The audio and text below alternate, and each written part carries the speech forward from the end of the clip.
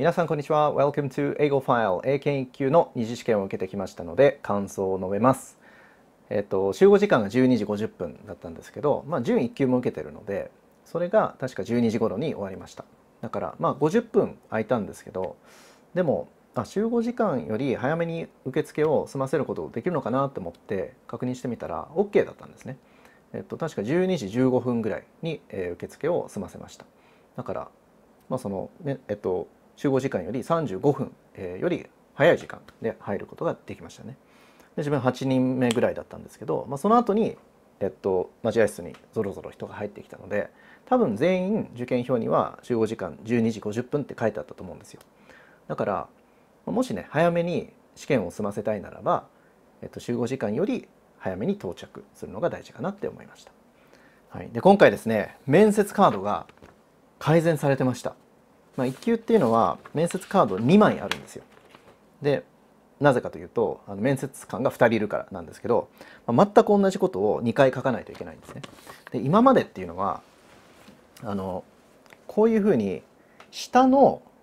部分こここでつながってたんですよねこここになんか1センチぐらいの幅ののりかなんかでこうくっついていてでこれ全部記入した後にこうやってめくって2枚目も書かなきゃダメだったんですよ。で中途半端にここぐらいまでしか開かないんですよね。この紙って。これ以上開こうとするとビリッて破れちゃうんですよ。なんだけど重要な情報ここにもあるんですよ。だからここも書かないといけないんですよ。だからまあ、少しでもねこう圧力かかっちゃうとビリってなっちゃうんであので破っちゃダメっていう、まあ、一応ルールがあるんですよね。だからいつも慎重に慎重にこうやって書いてたんですけどやっとこれが改善されてちょっと説明しづらいんですけど、まあ、とにかくこうやってこういうふうにもう開くようになったんですよこう平らになるようにだからものすごくあの書きやすくなりましたややっと改善してくれたっていう感じですねはいで、えーと、待ち時間なんですけど、まあ、自分の場合は全部で多分45分ぐらいでしたね。で面接室に入ってで最初の会話は、まあ、いつもと一緒ですね。えー、あなたにあなたについて何かあの教えてくださいよと。でその自分の答えに対してもう一個質問されてそして、まあ、試験開始っていう流れでした。でいつものようにね、え、目の前にカードが置いてあってひっくり返すと、まあ、5つテーマがあるんですけど今回は多分、まあ、簡単めだったかなと思いました、まあ、少なくとも2つについてあこれ結構喋れるなっていうのがあったんですよただ今回ちょっと検証したかったことがあってそれは何かというと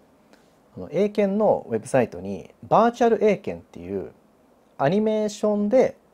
二次試験の流れが確認できるものがあるんですね。でそのアニメーションの中で出題されたあの質問が伝統っていうのは必ず守るべきかみたいなそういうクエスチョンだったんですよ。で回答例が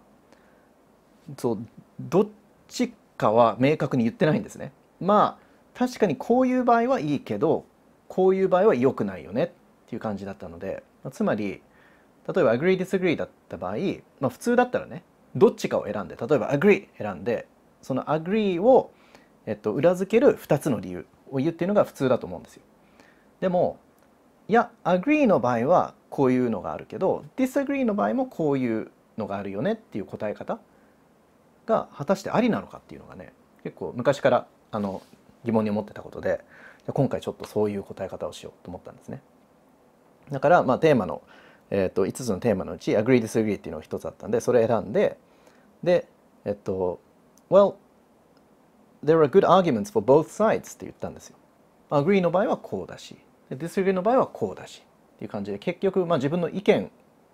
意見っていうか、まあ、結論を出さなかったんですね。そうだからこれでどういうふうに点数が影響されるかっていうのがすごく気になります。まあ、長さもちゃんと1分50え1分50秒ぐらい喋ったので問題ないと思います。そう。で、まあ、なんでこの検証が大事かなと思ったかというと例えばじゃあ、まあ、そもそもねその1つのサイドに対して2つ理由を思いつくのも難しい場合があるんですよ。だからじゃあ agree 選びました。で一生懸命喋りました。でうわもう喋ることなくなっちゃった。でもまだ60秒しか喋ってないってなった時にほとんどの人が多分そこでもう黙っちゃうんですよ。終わりってなっちゃうんですけどでももしそのね終わった後にあでも disagree に関してはこういういい点もありますよねっていうことを言っても OK ならば、まあ、そっちの方がいいのかなって思ったりするんで、うん、まあ結果がどうなるかですね。あの楽しみにしていてください。はい、でもう一個ちょっとね検証しなきゃしなければいけないなってことがあってそれは何かというと、まあ、よくね聞かれるんですけど Q&A セクションで、ね、何かこうクエスチョン聞かれた時に理解できなかった時どうすればいいのか。その聞き返していいのかとか、えっと、分からないって言った方がいいのか。それとも自分なりに解釈してとにかく何かこう答える方がいいのかとかね、まあ、いろいろ聞かれるんですけどそう確かにどどれが一番いいのかなって自分でも分か分からなかったので今回何を試してみたかというと、まあ、クエスチョンって大体5つぐらい聞かれるんですね。だからそのうち、えっと、難しいやつが本当に難しいやつが来たらなんかこうとにかく何とか言おうとするんじゃなくて「いやごめんなさいそれは分からないです」って言ってみようと思ったんですよ。で実際来たんですよ難しいやつが。だからそこはあもうチャンスだと思って「ごめんなさいこれそれ分からないですね」って言ったんですね。でそうしたらどうなったかというと、まあ、ネイティブの方に聞かれたクエスチョンなんですけど「いやいやいやあの大丈夫だよつまりこういう意味だよ」みたいな感じで補足説明してくれたんですよ。でかなりこうパラフレーズしてくれてで、まあ、もうちょっと分かりやすくなったので、まあ、それに対しては答えたんですけど、まあ、果たしてその一回ね「いや分かりません」って言ったことがどういうふうに点数に響くかっていうのが、うん、ちょっと気になるところですね。だからもしそんなに響かないってことになるならば、まあ、皆さんもねその無理してなんかでっち上げるんじゃなくてそこはあちょっと分かりませんって言った方がいいっていうことになるかもしれませんしまああの結果を楽しみにしていてください。はいっていう感じかな。うん。ということで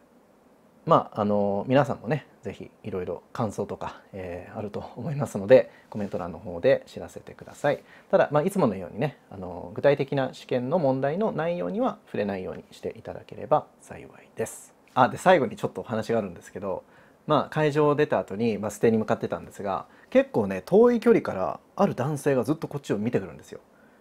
で自分何を思ったかというとあもしかして視聴者さんかなと思って結構ねあの嬉しかったんですけどあの近づいていくと「すいません」って言われてで「はい」って言ったら「まあ、英検二次試験受けてこられましたよね」「はい」って言ったら「あのよかったら英検二次対策講座やってるのでどうぞ」ってチラシを渡されました。ありがとうございます。みたいな感じ。いや残念でしたね。そう。まだまだ知名度がね、えー、足りないなってちょっと反省しました。はい。ということで。まああの会場の外だったらねあの全然あの声かけていただければあのすごく嬉しいので、えー、ぜひぜひいつか見かけたら、えー、声をかけてください。はい。ということで、えー、今日は英検1級の感想動画でした。Thanks for watching and I'll see you in the next lesson.